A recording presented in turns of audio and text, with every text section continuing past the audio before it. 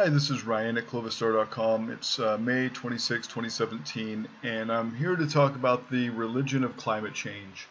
Uh, so, you know, there's been this movement of uh, asserting that there's global warming, and for a long time they called it global warming. Now they call it climate change. And the reason why is that they had all these predictions, they had these climate models, these charts that said, okay, based on these synthesized models, we should be seeing an increase of climate, of global warmth by so much. And then from 1978 forward to till now, uh, we see that in the last 19 years of those roughly 40 years, the climate has not had a net increase in temperature. So these climate models were wrong. And so then they called it, instead of global warming, now they call it climate change. And so, you know, with all of this change and all of these, you know, debunked theories, now there's a stronger effort, especially by governments that want to tax people on carbon and things like that, to reassert that there is this consensus in science. And the consensus is, is that they say 97% of scientists say that climate change, aka global warming, is real. And uh, so if you take it at face value, you think, all right, well, humans are causing a significant climate change and the globe is warming because of it, and we're in dire peril. Um, but what it breaks down to, and I have posted this many times, and you can see some of my links. Um, see if I can get you these here, and I'll post these in the description.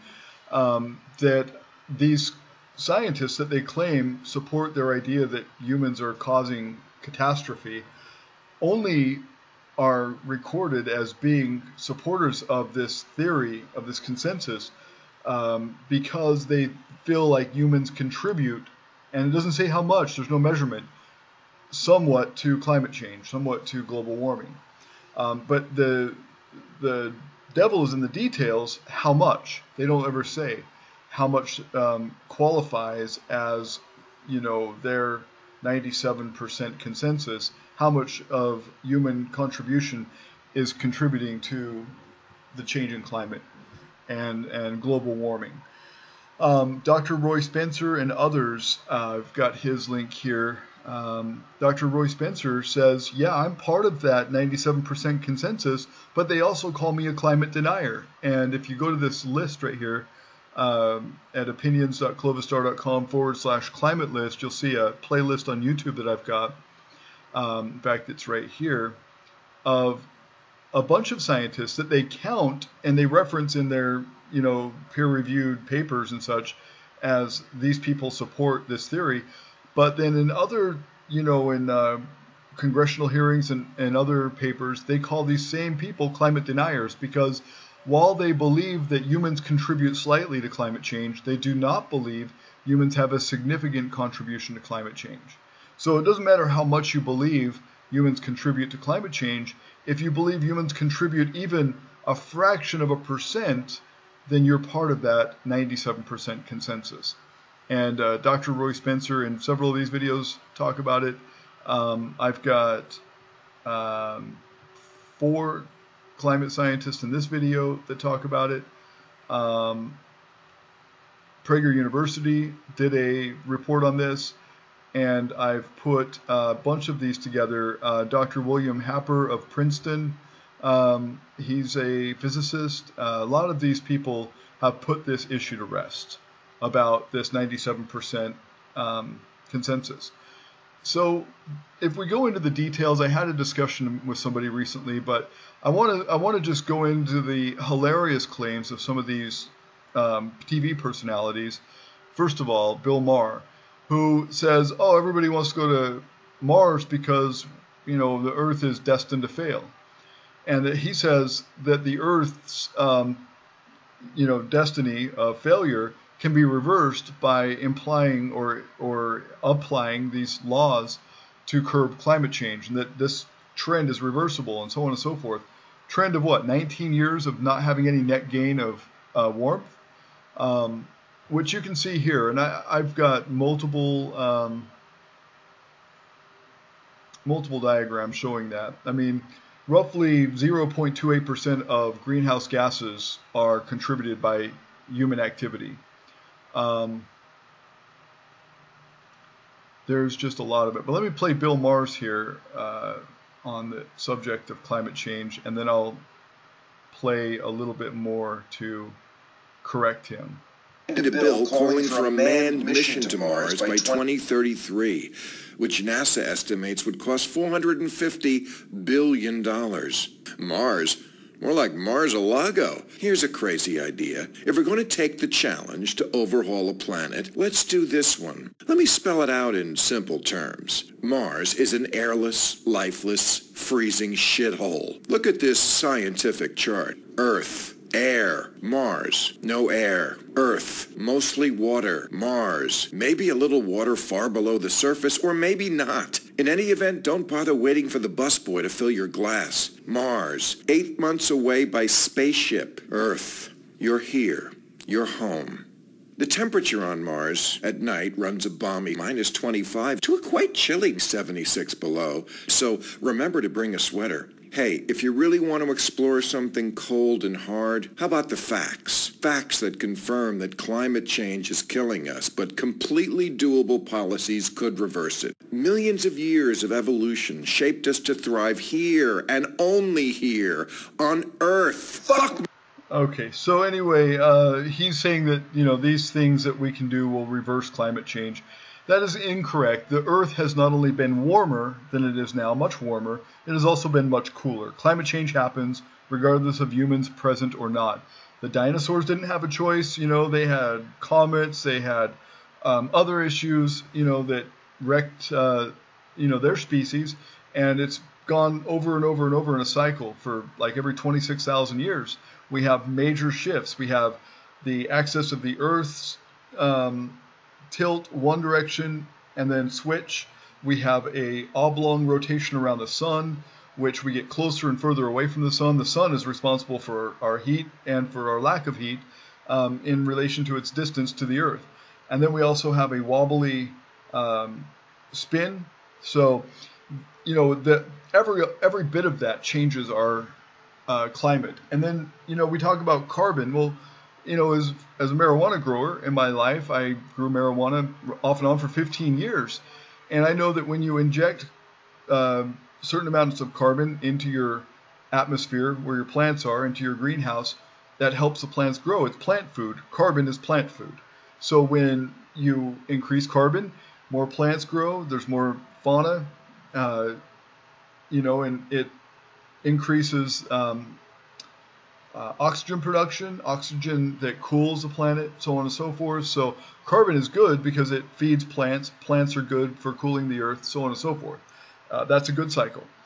Uh, you can look into it. You know, they sell major outfits, very expensive kits to inject your plants with carbon, you know, in a rotation. You do it at night, put a little bit more carbon in the atmosphere, then you reduce it in the daytime and, you know, kind of do a cycle, you know, and there's all kinds of different, you know, methods of it, but it's definitely plant food. Carbon is good for plants.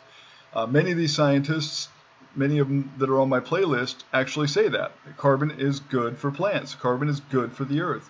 Carbon is good for cooling the earth.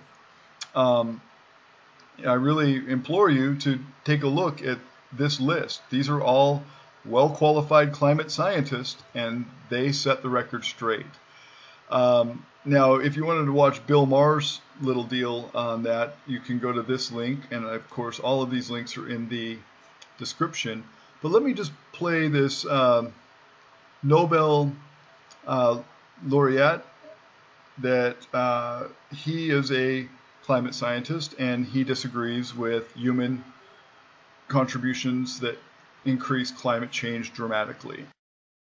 Global warming is really a hot topic. And what I said then, and which I still believe, is that global warming really has become a new religion because you can't discuss it. It's not proper. If you say global, see if you see if you look at Lindau here today, then all the people who are, you know, notable people, they have said climate change in their talks. All of them have said it. I don't know whether they know what they mean, but they have said it anyway. Everybody talks about climate change. So the American Physical Society, which I was a member, said the evidence is incontrovertible that global warming exists. Now think about that. This is a physical society.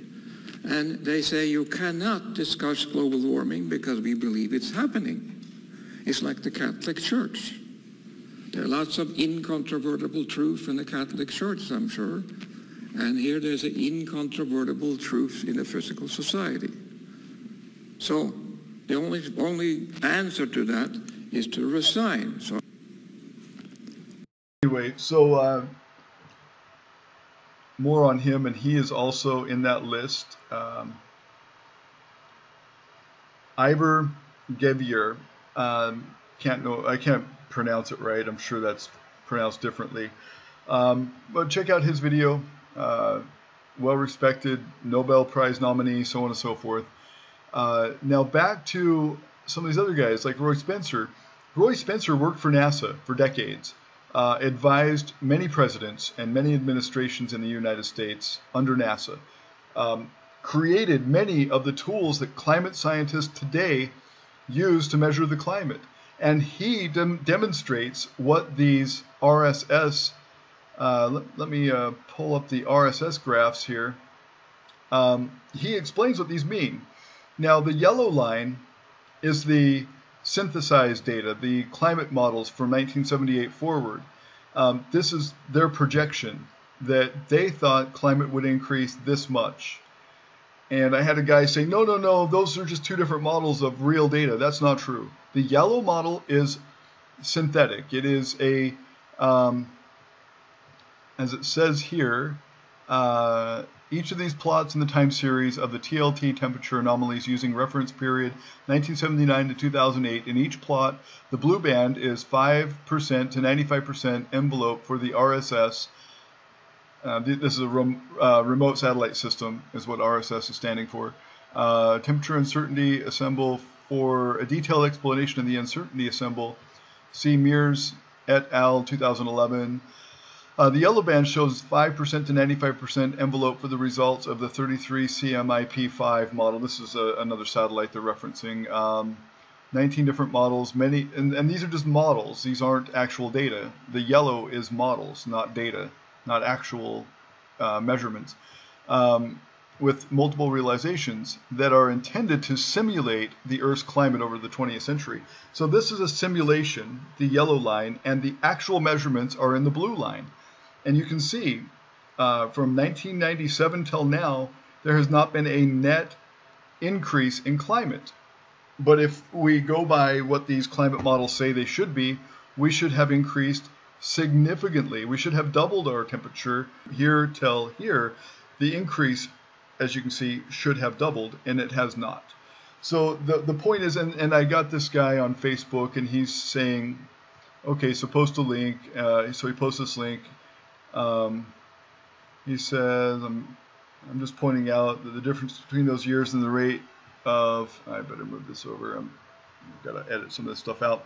Uh, looking at the bands, yes, the blue band, RSS, uh, remote satellite system, temperature uncertainty assemble, not the 1-1 and the yellow band, uh, but the blue band is not actual climate change. It is more of a margin of error as explained.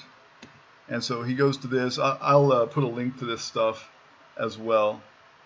Um, and so I had to go back, and Roy Spencer actually talked about these diagrams at Congress. He's the one that made the tools that measured these, that many of the tools that measured this um, data.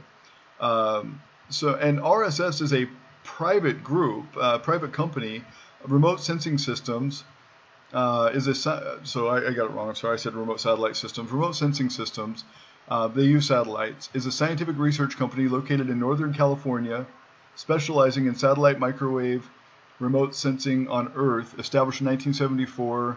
Blah blah blah. And anyway, um, Roy Spencer, as well as some of these other scientists that I've got listed in my playlist, actually gave their um, testimony on this graph and on these models on the simulation model and on the actual data model showing that there has not been a net increase in temperature in the last 19 years.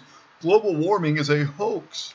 Um, at least human caused global warming is a hoax. The, the Earth warms and cools on its own based on, like I said, the relationship to the sun, the distance, the oblong rotation, um, orbiting around the sun, uh, the tilt of the Earth, the spinning of the Earth, and the oblong, um, I mean, the uh, wobbly spin that we have, and all of that contributes, uh, as well as carbon, which the lacking of carbon increases the temperature.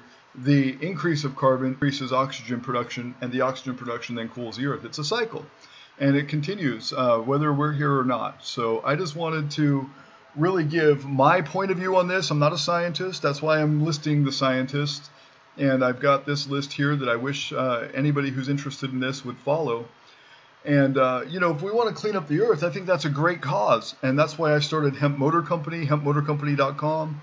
I believe running biofuel is really good for cleaning up the earth, uh, just to be clean, just so we don't have a crappy earth. Um, I don't believe that what we're doing, and you know, humans in fact are doing, increases the temperature significantly. I, I, I disagree with that from the evidence that I've found. And uh, if you go to this uh, link here, geocraft.com, I've got a short link to it. Here, you can learn more about it. If you go to opinions.clovisstar.com forward slash geo, you can learn about the different contributions of human activity to greenhouse gases and therefore global warming. But what we do know is the Earth has not warmed, has not had a yet war, a net warming in the last 19 years. That is a fact. Disagree with it if you want. The data's there. I'm presenting it to you, and that's why I made this video. Um, thanks again, and hope you tune in to my playlist because I'll be adding more to it as we go. But I've got at least a dozen scientists there, well accredited, Princeton, uh, professors, um, NASA uh, employees, all this that actually work in climate change on a daily basis, not just people who, you know, remotely observe it like myself, but people who actually who are actually in the field, and uh, they did a great job explaining it. Thanks again. Take care.